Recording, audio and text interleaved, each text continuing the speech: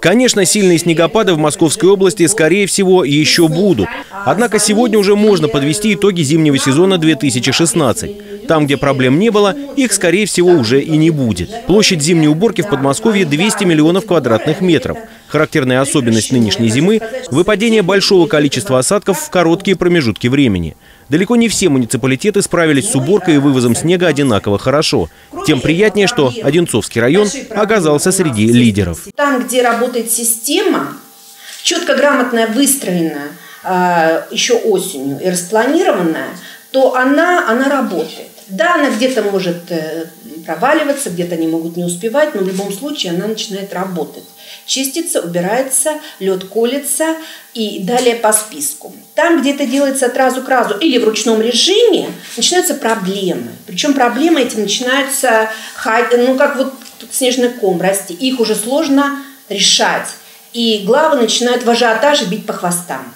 Это неправильно. Поэтому я бы хотела как пример привести зиму 2016 года в Одинцовском районе.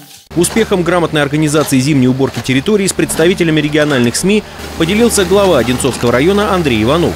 Он отметил, что порой снег убирать было нелегко, особенно в военных городках и новых микрорайонах, где ситуацию осложняли оставленные на проезжей части автомобили.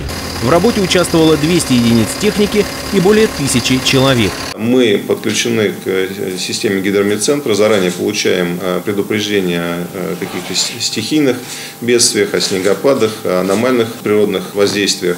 Если говорить о практике, сформирована даже э, некая социальная группа в Telegram. Мы быстро рассылаем оповещения по главам, по ответственным специалистам в каждой территории у нас э, дежурят и в выходные дни прикрепленные специалисты, это обычно это заместители глав по этому направлению.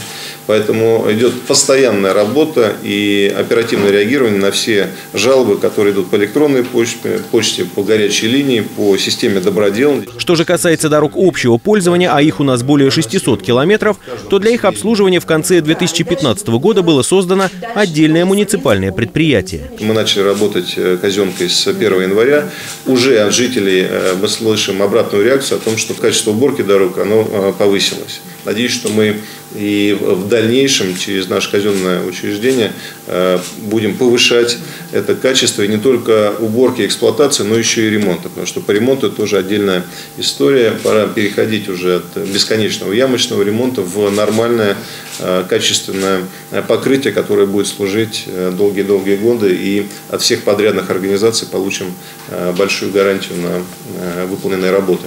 Андрей Иванов сообщил также о том, что в районе создано 25 спецбригад, занимающихся очисткой кровель от снега и сосулек. Петр Горохов, Артем Ломоносов, телекомпания «Одинцова».